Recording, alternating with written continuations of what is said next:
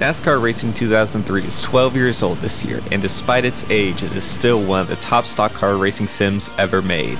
Even after forums have tried to ruin the gaming community, and mod sites try to make what should be free downloads payware, this game is still the best stock car sim to have, especially when you consider the prices of the other games, and the fact that this game is abandonware nowadays and can be free if you can find the link.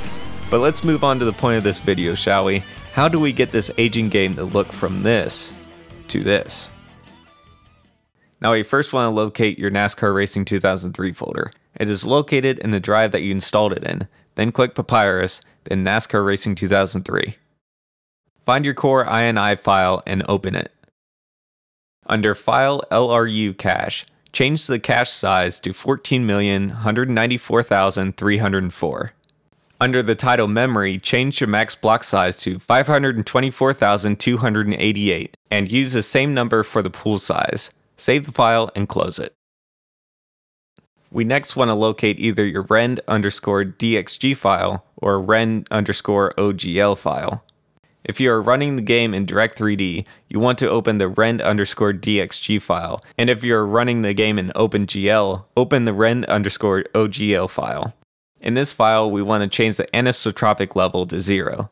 The reason we want these levels off is that the graphic driver changes we make later in the video can run the levels more efficiently than the game itself, which gives us a few more frames to play around with.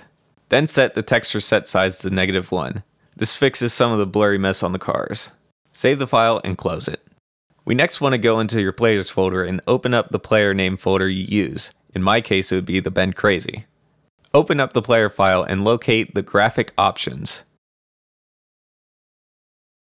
Here we want to set the car detail to 2, the draw ahead and behind distance to 100, enable car mega shader to 1, and enable shadow volumes to 1.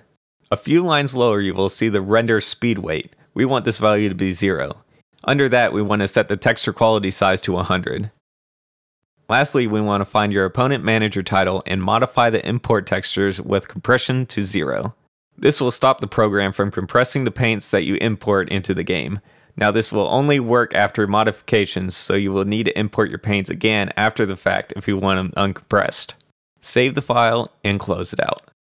Now at this point we are done modifying the NASCAR racing folder. I suggest running the game once or twice and then go back to these files and make sure the game didn't change some of the settings as you want to put them back. Next, we want to go into your graphic control panel and modify the settings specifically for this game. You can do this by right-clicking on your desktop and selecting the graphics control panel. Some control panels will differ in looks, but you should be able to make all these changes I explain. For reference, I am using the NVIDIA control panel. Select Manage 3D Settings and make sure you select Program Settings as modifying global settings will mess up with the settings of all your games. Under Select a Program to Customize, search for your NASCAR Racing.exe file and click Add. We then want to change your anisotropic filter to 16x. Anti-aliasing mode to override application settings. Change the anti-aliasing settings to 16x CSAA, or if you have a powerful graphics card, change it to the max. And set the anti-aliasing transparency to 8x. Then find the maximum pre-rendered frames and change this to 3. Next, we want to go down and turn off the texture filtering anisotropic sample optimization. Change the negative LOD bias to clamp, the quality to high quality, and turn off trilinear optimization.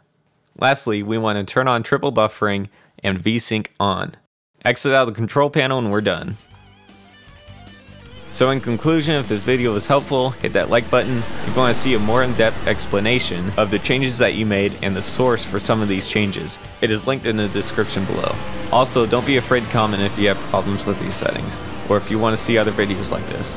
I am the Ben Crazy, and thank you for watching.